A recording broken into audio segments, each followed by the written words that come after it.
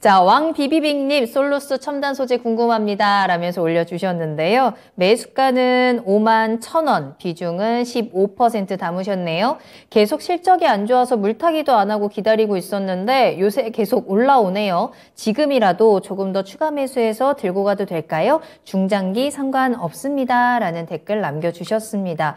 최근에 솔루스 첨단 소재 좀 강하게 올라오고 있거든요. 요 저점에서 추가 매수를 못한 게 조금 아쉬우실 것 같은데 어떤 전략 필요할까요?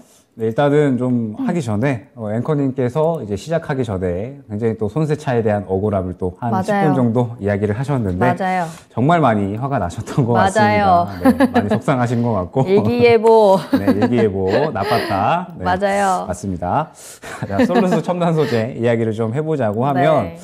일단은 이제 지금 현재 상태에서 가장 시장에서 주목받을 수 있는 모멘텀은 역시나 이제 이 동박 쪽이다라고 생각을 해주시면 될 것 같습니다. 음. 솔루스 첨단 소재가 이제 전지 막 동박 쪽에 어떤 사업을 좀 진행을 하면서 이제 이러한 부분에서 모멘텀이 조금 이제 형성이 되었었던 그런 이제 기업인데 지금 이제 이 3분기 실적을 보게 되면 어 이러한 부분에 대해서 일단은 이 유럽의 전력비가 올라간다라고 하면서 이제 이 원가에 대한 상승분이 상당히 좀 부담이 되고 있다라고 이제 이야기가 나왔어요. 그러면서 또 추가적으로 이야기가 나온 게 무엇이냐라고 했을 때 어, 이 헝가리 쪽에서 이 생산한 전지박에 대해서 고객사가 만족을 하지 못했다라고 하면서 리콜 사태가 벌어졌다라고 이제 이야기가 나왔거든요.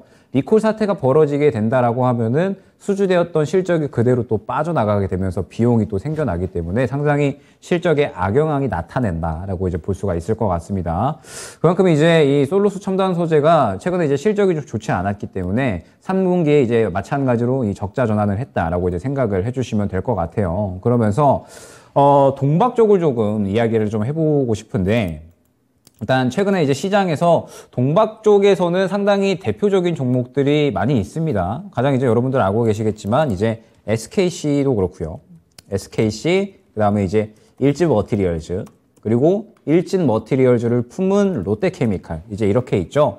그러면서 이제 이 관련된 종목들이 굉장히 많이 있고 솔루스 첨단 소재 같은 경우에는 이제 그런 이제 후발주자다라고 생각을 해주시면 될 것 같습니다. 그러면서 결국에는 이 시장에서 최근에 이 동박 쪽은 경쟁력이 좀 상당히 심화가 되고 있는 그런 상황이거든요. 때문에 상대적으로 주목을 받고 있지 못하다 라고 이제 생각을 해주시면 좋을 것 같고 그러면서 이제 실적이 조금 좋지 않게 나오고 4분기까지도 약간은 영업 적자가 이어질 것으로 좀 생각이 되다 보니까 그동안에 낙폭이 좀 계속해서 컸던 것 같습니다. 다만 이제 최근에 어느 정도 이 바닥을 짚어주려는 그러한 시도는 하고 있는데 추가 매수에 대한 부분은 저는 일단은 조금 더 지켜보자라는 의견이에요. 왜냐라고 했을 때 지금 이제 이 단가가 조금 많이 높으시잖아요. 5만 천 원이시기 때문에 어느 정도 이 단기적인 매물대로 좀 생각을 해야 됩니다. 그러면서 단기적인 매물대가 어디에 형성이 되어 있냐라고 하면은 일단은 약 4만 원 구간, 4만 천 원 구간이 되겠네요. 그 다음에 4만 5천 원 구간, 그 다음에 5만 5천 원 정도 이렇게 이제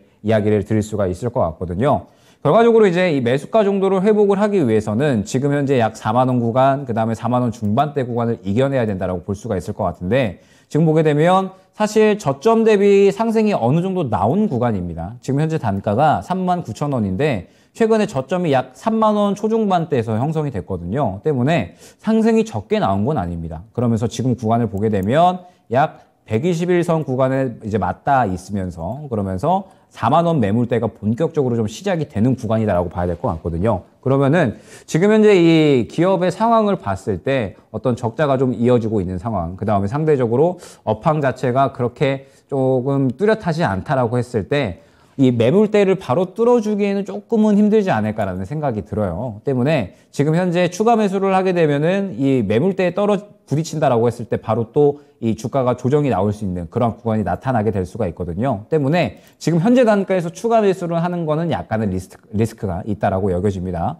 추가 매수를 한다라고 했을 때에는 현재 구간에서 눌리고 다시 한번 3만 원 초중반대에서 긍정적인 수급이 들어올 때 그때 추가 매수를 진행을 해야 된다라고 말씀을 드릴 수가 있을 것 같아요. 때문에 일단 지금 현재 상태에서 당장에 집중을 해야 될 부분은 무엇이냐라고 했을 때 일단은 이 4만 원 초반대 구간에 매물이 굉장히 좀 강하게 형성이 되어 있습니다. 이 구간을 뚫어줘야지 4만 원 중반대 그리고 매수가까지도 상승을 노릴 수가 있다라는 점. 이 구간을 뚫어주지 못하면 결과적으로는 다시 한번 또 조정이 나올 수가 있어요. 그런데 솔로스 첨단 소재 같은 경우에는 아직까지는 부정적인 이슈가 조금 더 많다 보니까 지금 현재 구간에서 조정이 또 나올 수가 있다라는 부분을 염두를 해서 추가 매수를 고려하신다면 다시 한번 눌리고 수급이 들어오는 구간을 기다렸다가 그 구간에 추가 매수를 진행을 하셔야 된다라는 점. 지금 구간은 어느 정도 이제 매물대에 부딪히는 구간이기 때문에 만약에 현재 구간을 뚫어준다라고 하면은 4만 원 중반대에서 5만 원 정도까지는 올라올 수가 있거든요. 그러면 그 정도 구간에서는 한 차례 조금 비중을 축소를 했다가